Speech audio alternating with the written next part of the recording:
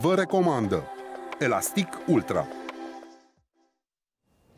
Bună seara, doamnelor și domnilor, vă spune Ovidiu Ghinea la o nouă ediție a emisiunii Agricultura la raport. Iată că în această seară a venit uh, rândul unui subiect uh, mult așteptat, uh, mult îndrăgit de cei care vor să acceseze fonduri europene. Preț de două ceasuri vom discuta despre ce trebuie să faceți pentru a primi bani europeni, pentru a primi finanțare.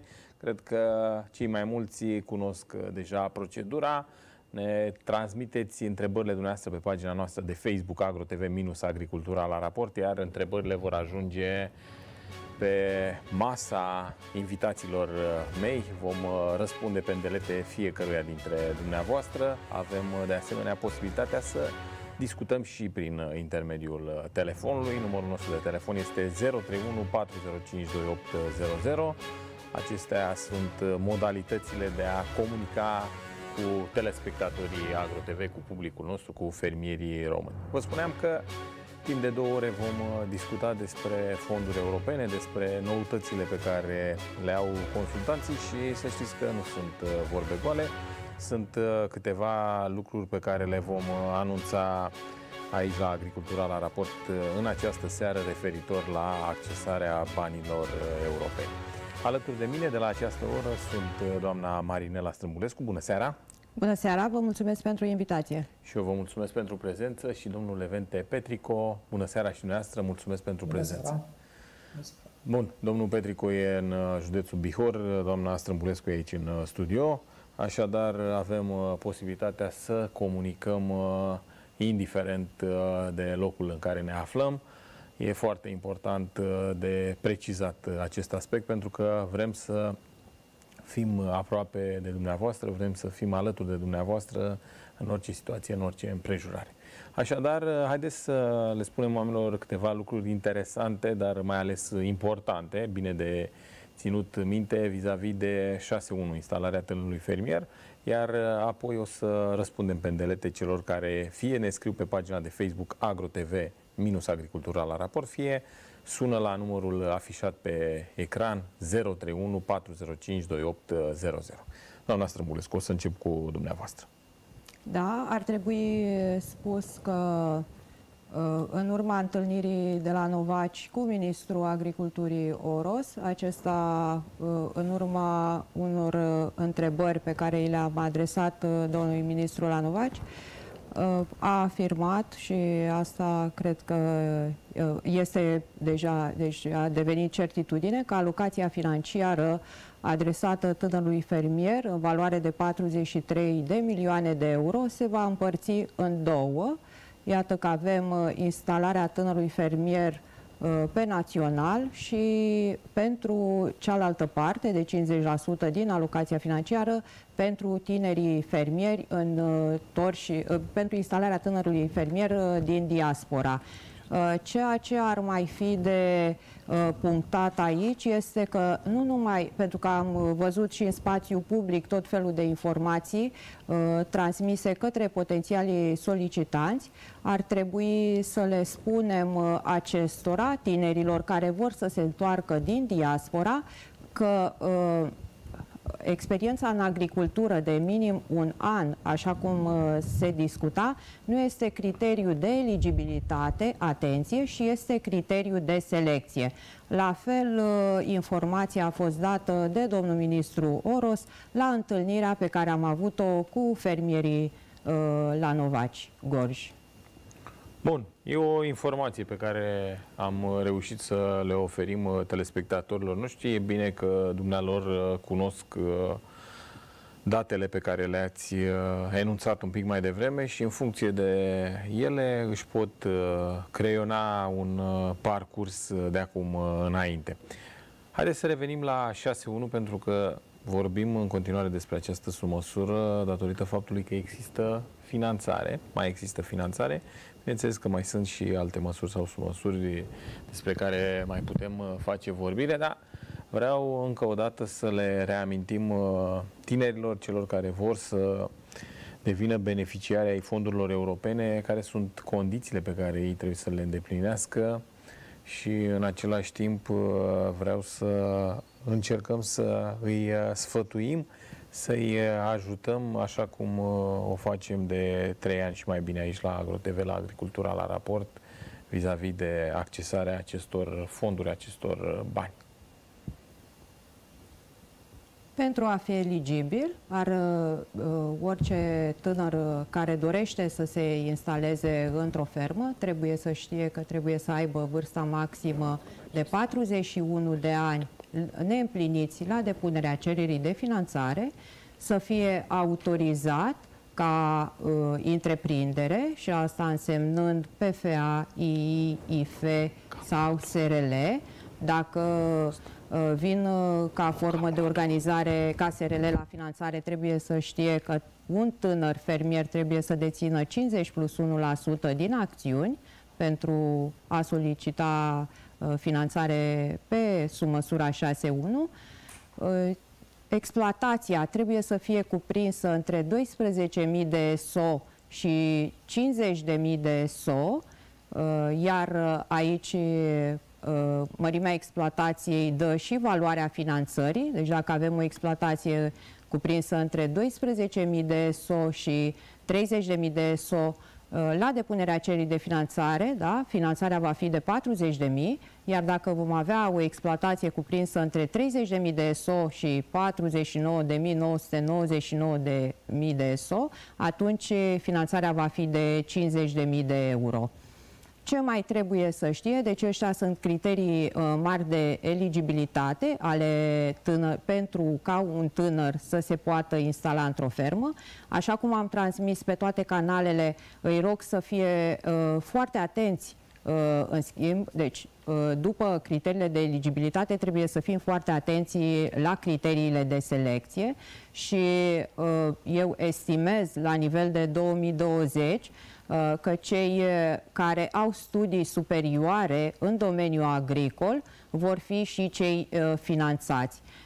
Punctajul aferent studiilor în domeniul agricol, studiilor superioare, este unul la nivel de 2020 foarte mare, astfel încât va face diferența. Bineînțeles că fiecare tânăr fermier va veni cu un sector prioritar, așa cum ne-am obișnuit, fie că este în sectorul zootehnic, au bovine de lapte sau apicultură sau uh, ovine și caprine, uh, sau în vegetal, uh, legumicultură, uh, legume în câmp, uh, legume în sere și solarii sau pomicultură. Uh, deja suntem obișnuiți să depunem criteriul ăsta de selecție cred că o să-l ia toată lumea care se solicită finanțare.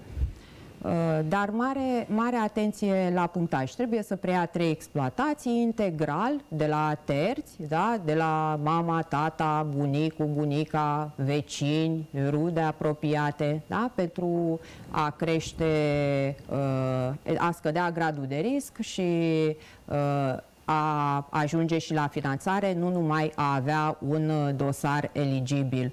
Uh, iată că anul acesta, așa cum am afirmat uh, mai devreme, alocația se împarte în două.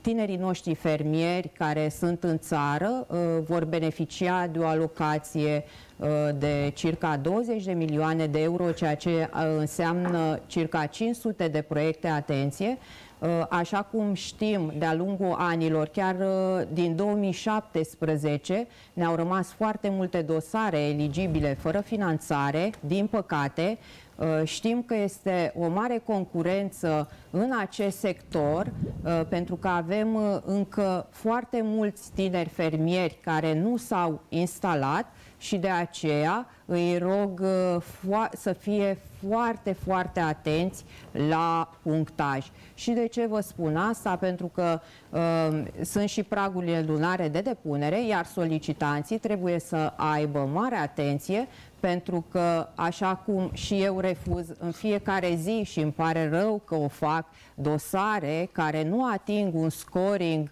uh, mulțumitor din punctul meu de vedere, da? uh, un scoring cu care noi ne putem bate la nivel național, să fie foarte atenți ca nu cumva să întocmească dosarul și nici măcar să nu aibă posibilitatea să-l depună pentru că, așa cum știm, în momentul în care avem suma dosarelor depuse acoperă alocația financiară, deci avem închidere de sesiune, da? Și până ne vine nou uh, pragul lunar de depunere, s-ar putea ca sesiunea să fie închisă. De asta ei trebuie să înțeleagă, nici consultanții, că am auzit, domne, că toți consultanții transmit în piață uh, anul acesta că nu sunt bani. Da, bani nu sunt.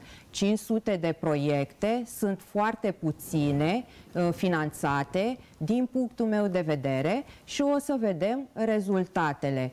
Uh, trebuie doar să fiți atenți, să discutați cu consultantul fiecare criteriu de selecție, astfel încât uh, dacă vă hotărâți să întocmiți un dosar pentru anul acesta, pentru 2020, să vă evaluați foarte bine riscurile. Bun, haideți că avem un uh, prim telespectator care așteaptă să dialogueze cu dumneavoastră. Bună seara! Bună seara! Cum vă numiți, de unde ne sunați? De la Brăila, Fântlică Dumitru. Da. Spuneți, vă rog. Domnul Vidughine, aș vrea să aș vrea să adresez și eu uh, invitatei dumneavoastră o întrebare. Dacă aceste fonduri sunt, uh, sunt uh, valabile și pentru piscicultură? Nu, uh, aceste fonduri nu sunt valabile pentru piscicultură, piscicultura are propria linie de finanțare. Uh, nu, din păcate nu vă puteți instala pe componenta de piscicultură pe 6.1. Am înțeles. Bun. Haideți că poate există variante pentru dumneavoastră de a accesa fonduri europene cu o condiție, să ne spuneți mai multe lucruri. Ce exploatație aveți, ce vreți să faceți? A, pot să vă spun acum? Păi, da. Ok. Deci, m-ar interesa niște fonduri să uh, construiesc, cum să zic eu, o hală cu niște bazine pentru a practica piscicultură intensivă.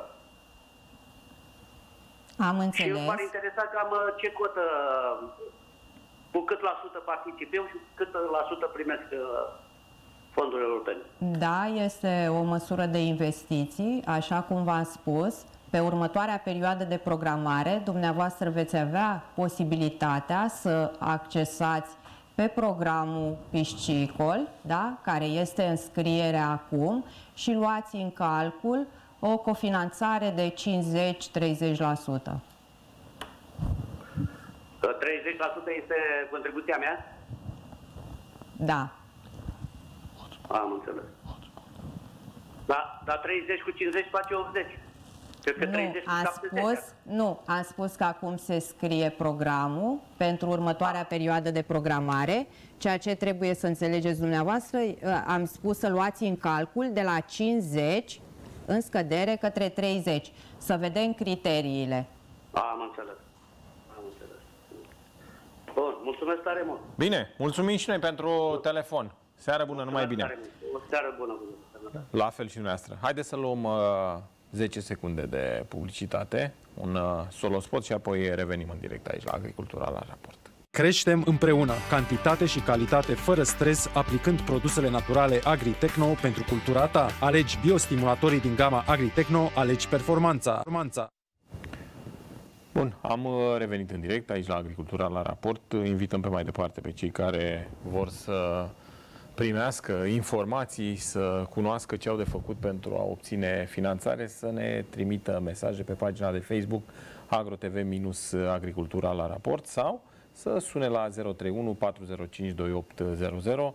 Este un uh, telefon cu tarif uh, normal. Până atunci vreau să-l uh, introducem în discuție și pe domnul Levente Petrico, pentru că E un uh, consultant care își face foarte bine treaba acolo în uh, zona de vest a României și de ceva vreme s-a alăturat uh, celorlalți domni și doamne din echipa noastră de aici, de la Agro TV. Bun, avem un alt telespectator care așteaptă pe fir. Bună seara! Bună seara! Cum vă numiți, de unde ne sunați? Alexandru, sunt din Caraș. Da.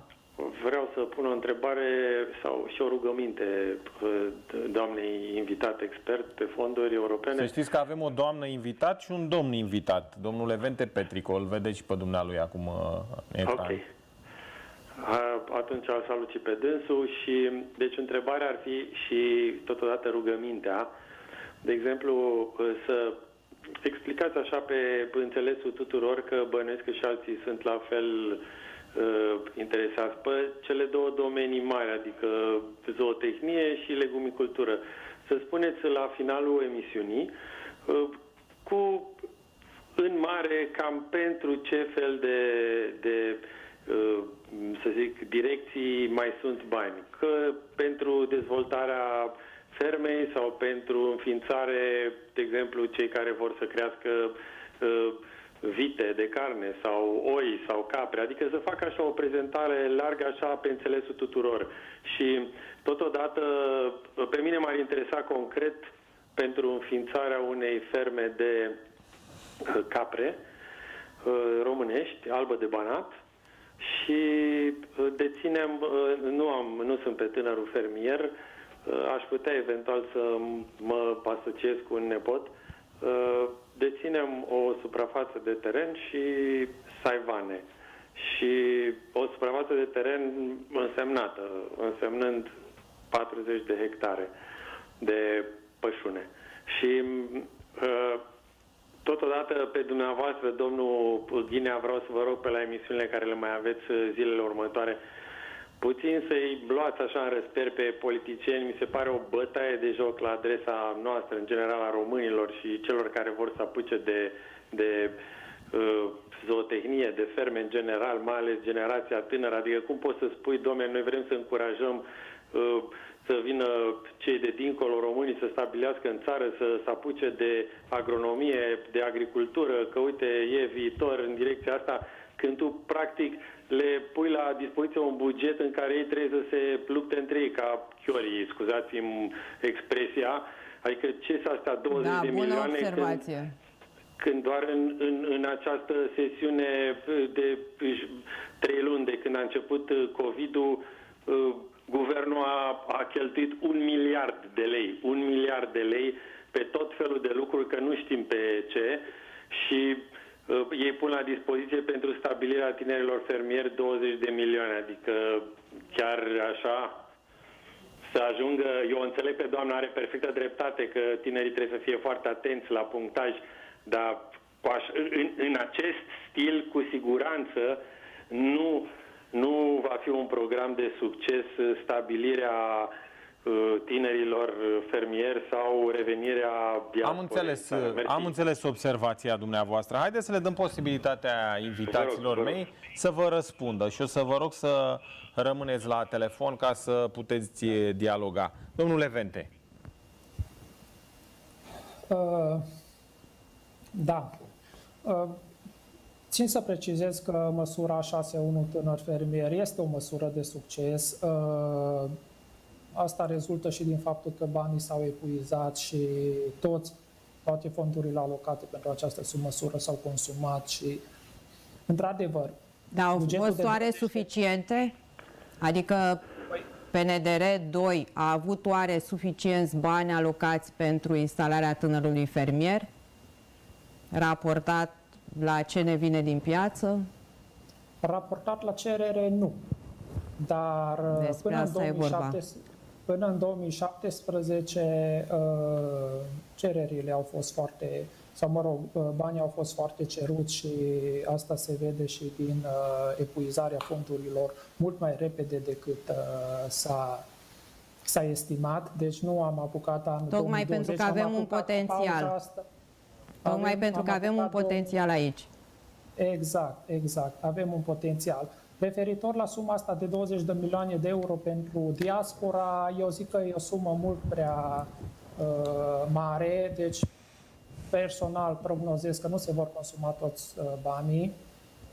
Acum, întrebarea e ce se va întâmpla cu aceste sume, pentru că dacă într-adevăr nu se vor consuma banii pe diaspora, se pot ei transfera către uh, național. Din câte știu eu, nu. Dar măsura 6.1 totuși este o măsură de succes și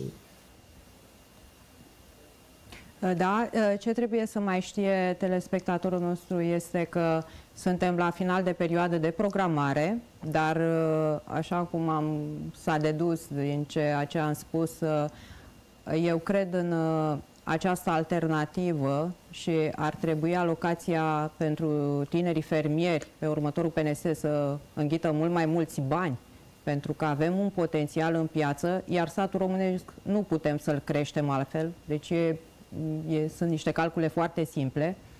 Uh, oamenii vor, într-adevăr, să se întoarcă eu am foarte multe solicitări deja pe diaspora, nici eu nu am crezut, de asta am și uh, vrut să știu exact dacă uh, doar din agricultură putem uh, instala și ce se întâmplă cu cei care, de exemplu, au lucrat în uh, alte domenii, în turism, de exemplu, sau în construcții, că am uh, tot uh, felul de solicitări.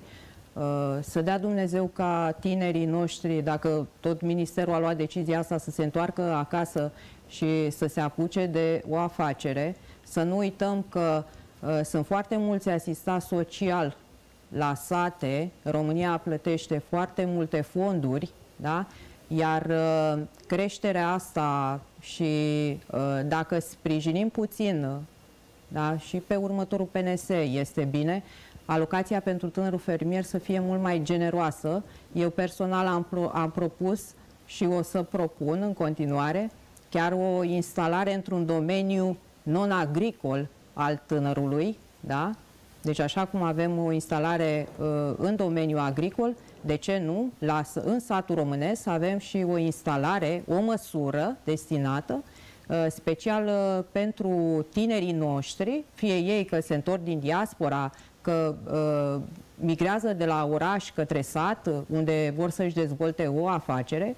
Eu cred că am rezolvat și problema asistaților sociali, că am compensat oarecum uh, lucrurile unul cu altul. Dar dacă dăm iar bani foarte mulți uh, la foarte puțini, așa cum uh, și domnul Emil Dumitru, chiar aici la domnul Ghinea a afirmat, nu o să facem și nu o să creăm clasa aceea de mijloc Uh, atât de dorită de noi toți până la urmă. Bun. Uh, domnul Alexandru, mai sunteți la telefon? Da, sunt. Uh, până eu sunt de vină că i-am băgat în politici agricole, um, Dânsii n-au apucat să-mi răspundă la întrebare de Sigur dacă o să vă răspundem. Pentru... Sigur că da. Dumneavoastră aveți 40 de hectare de pășune, n-am uitat de dumneavoastră.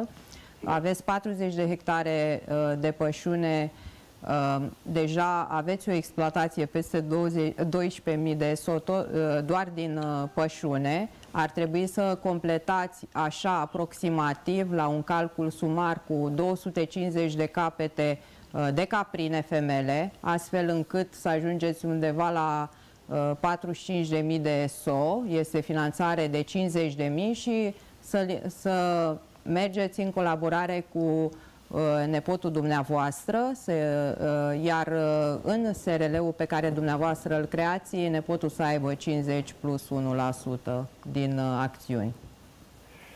Deci am înțeles bine, cu 250 de mm, de Sigur, când veți merge, da, când veți merge la un da. consultant, da. se vor face calculele exacte. Rețineți okay. că eu fac calculele astea din minte, adică nu am nimic.